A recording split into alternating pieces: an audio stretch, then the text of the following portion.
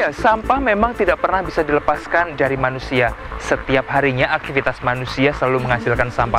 Di tempat saya berdiri saat ini, ini merupakan TPST Piyungan, tempat pembuangan sampah terpadu bagi masyarakat Kabupaten Bantul, Sleman, dan Kota Yogyakarta. Jika Anda perhatikan, di belakang saya sungguh terlihat gunungan-gunungan sampah yang cukup mengerikan. Di mana memang gunungan-gunungan sampah ini membuat sebuah fakta bahwa kondisi TPST Piungan ini sudah tidak lagi menampung sampah untuk masyarakat kota Yogyakarta, Bantul, dan juga Kabupaten Sleman. Benarkah TPST Piungan ini sudah overload? Dan bagaimanakah sistem penanganan TPST Piungan? Ikuti penelusuran saya dalam fokus minggu ini.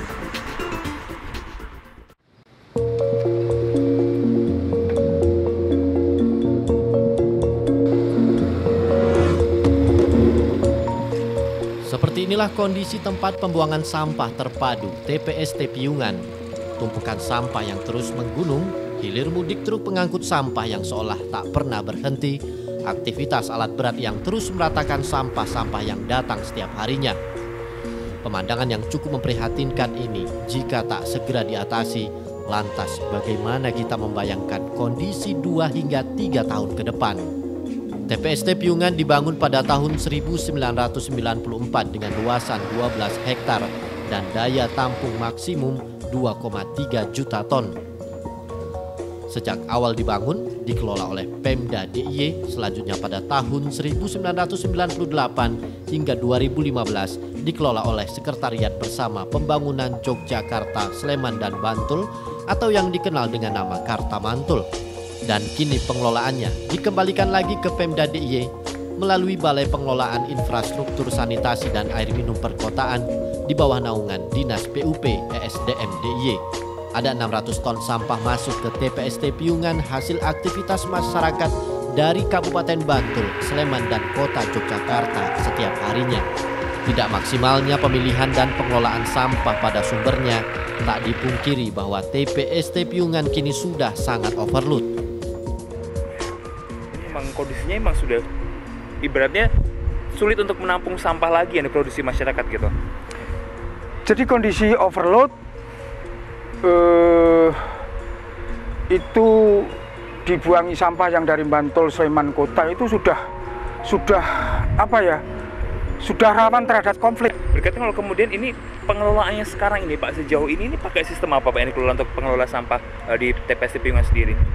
Ya kita kalau uh, dalam aturannya itu maunya sanitary landfill ya, tapi untuk menuju ke sana itu banyak banyak sekali apa pertimbangan-pertimbangan atau dana-dana yang harus dikeluarkan ya toh.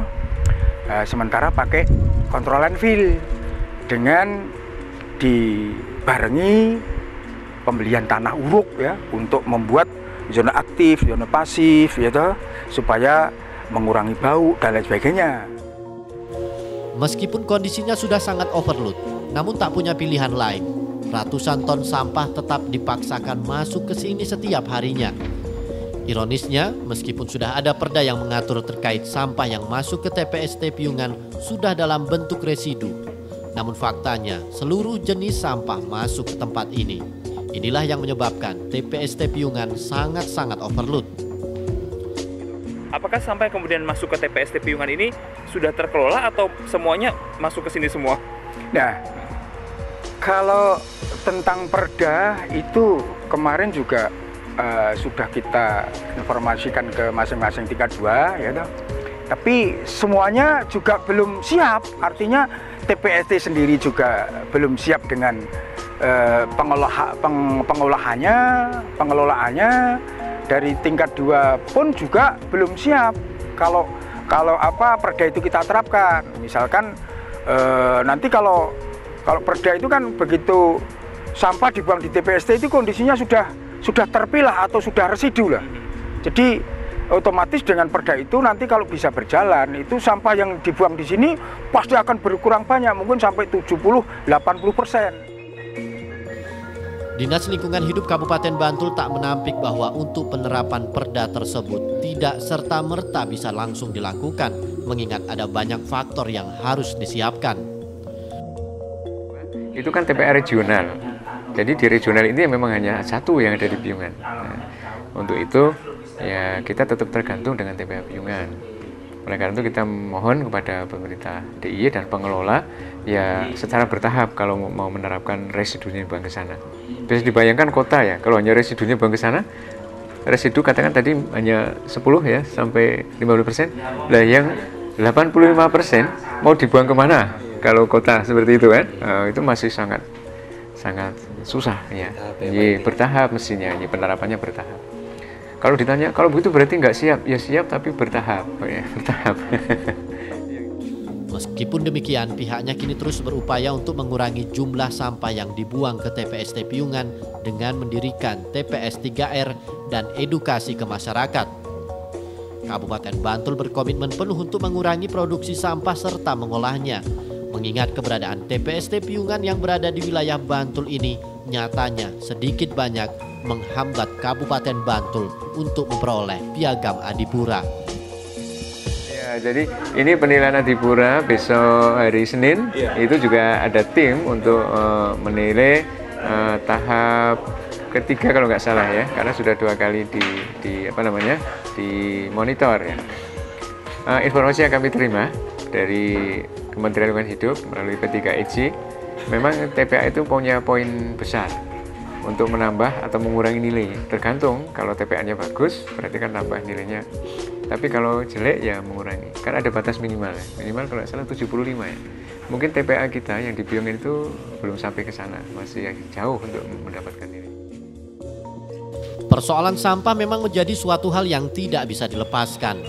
Karenanya sampah yang kita hasilkan merupakan tanggung jawab kita sendiri adalah Iswanto, dosen Poltekkes Yogyakarta yang merupakan pelopor Desa Wisata Lingkungan Sukunan Banyuraden Gamping Sleman. Berawal dari kebingungan mengolah sampah hasil rumah tangganya, ia pun memutar otak hingga pada tahun 2003 dirinya dan keluarga berkomitmen untuk memilah-milah sampah dan mengolahnya. Komitmen ini yang coba ia tularkan pada warga lainnya untuk mulai bertanggung jawab atas sampah yang dihasilkan dari aktivitas sehari-hari kemudian kalau memang harus dimulai dari tingkat keluarga gitu hmm, pak hmm. sebenarnya kalau melihat fenomena masyarakat sekarang kenapa sulit sekali untuk uh, apa ya budaya memilah sampah ini ada faktor apa sih Pak Kanggan di tengah masyarakat sendiri? Ya, jadi memang untuk mengelola sampah itu harus bersama-sama. Jadi harus menggunakan gerakan massal. Nah, gerakan massal itu bisa dimulai dari kelompok, ya. Kelompok dasawisma, ya. Kelompok PKK RT, PKK RW atau PKK desa itu kelompok. Kemudian dari kelompok itu memang harus mulai membangun norma, membangun kesadaran bersama ya dan tanggung jawab terhadap sampahnya. Dan itu sudah menjadi semacam kesepakatan kelompok itu. Iswanto berkisah tak mudah memang untuk merubah pola pikir masyarakat untuk mengatasi permasalahan sampah ini. Namun semua itu harus dilakukan mengingat sampah yang kita hasilkan merupakan tanggung jawab masing-masing. Kalau kemudian uh, orang mungkin akan membayangkan cukup uh, ribet ya Pak ketika harus memilah sampah gitu. Hmm, mungkin hmm. Bapak yang sudah bertahun-tahun sudah hmm. mendengungan ini berkali-kali gitu. Sebenarnya langkah simpel apa sih Pak kemudian kita biar bisa kita mengolah sampah sendiri? Mungkin ada uh, contoh atau apa gitu Pak? Ya. Jadi memang semuanya berangkat dari niat dan komitmen kita. Niat dan komitmen kita. Berarti kalau sudah ada niat itu pasti ada di hati. Ya sudah ada niat. Komitmen itu istiqomah artinya konsisten. Tanpa harus dilihat orang tanpa harus karena lomba itu sudah harus membiasakan diri di kehidupan rumah tangga. Ini sebenarnya simple. Ketika sudah ada niat dan komitmen kita bisa kok misalnya mem memilah sampah di rumah itu oh saya tempatnya kan tidak tidak punya menggunakan tempat yang sederhana bisa misalnya Nyatanya, sampah tidak serta-merta menjadi suatu hal yang kotor dan menjijikkan. Ibarat seorang anak, jika diperlakukan dengan baik, sampah juga dapat bernilai ekonomis dan estetis. Hal ini sudah terbukti di desa wisata lingkungan ini, di mana sampah mampu dibuat berbagai kerajinan menarik ataupun dekorasi yang semakin mempercantik suatu daerah atau tempat.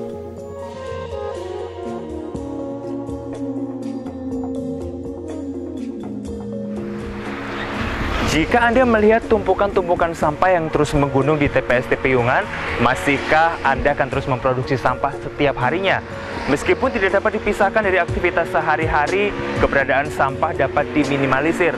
Kuncinya adalah kemauan kita untuk mulai memisahkan dan mengolah sampah-sampah dari tingkat yang paling kecil, yakni diri sendiri dan keluarga. Dengan demikian, sampah yang dibuang ke TPST Piyungan sudah dalam bentuk residu. Yuk, mulai sekarang kurangi dan olah sendiri sampah-sampah kita. Christian Aditya, Grigori Yeli, Jogja TV.